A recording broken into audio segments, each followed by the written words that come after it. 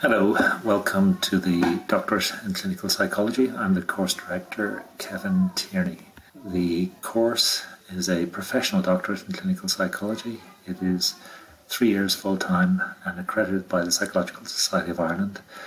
Three major components of the course six clinical placements, a range of academic modules, and a major research dissertation at the doctoral level.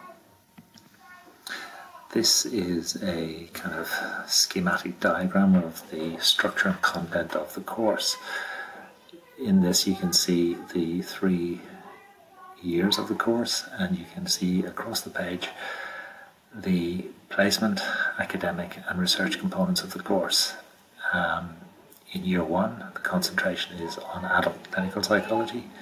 In year two, we cover child clinical psychology and clinical psychology in people with intellectual disabilities.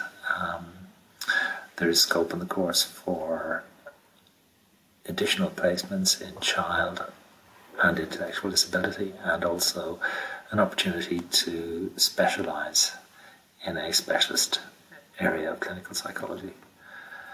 Who can apply for the course? The course the purpose of the course is to train people to work in the Irish Health Service.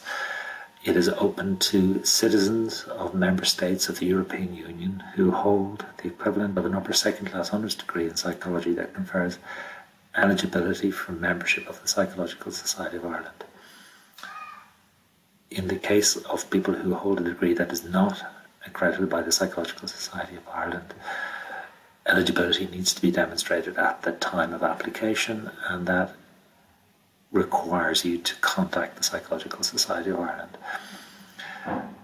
We also require six months relevant postgraduate clinical experience, English language competency, police clearance, satisfactory references, and a clean driver's license. The closing dates for applications are the Friday of the first week in the December prior to entry to the course. Thank you.